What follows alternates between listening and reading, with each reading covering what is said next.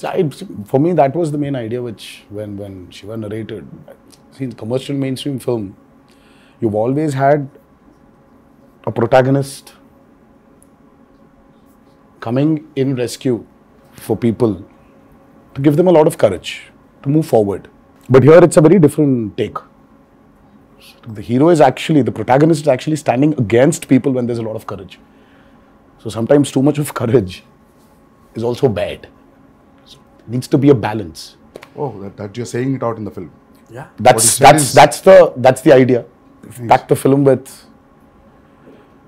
I mean, see, sometimes a narration like this can become very preachy. it can become very preachy, but uh, Shiva, with the strength he has on commercial movie on on this genre, I think he's he's he's packed up with a lot of action. So it is it is Devara is is an action drama. Fear being the the main platform on which the whole movie is built up. So it's a very new world which we've created. Mentioned when the movie started, it's like it's the forgotten coastal regions of India. So we've placed geographically placed it in a very mythical world. Okay. Yeah, it's a very fictitious world, obviously. But it looks very close to us. It's like a world we've seen before, but it's again something which we haven't visualized before. The characters, the, the, the, the, the behavioral patterns, the emotions, the drama. It's, it's extremely high on drama and action. So I would probably say that Devara is a action drama.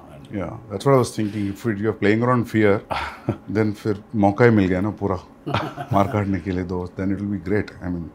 I went. I recently visited South Goa. So there's one part in South Goa. So one manager came out of the blue and he said he told about the action episodes how you shot, about the tease especially. You know the the the crescent moon becomes a full moon with that.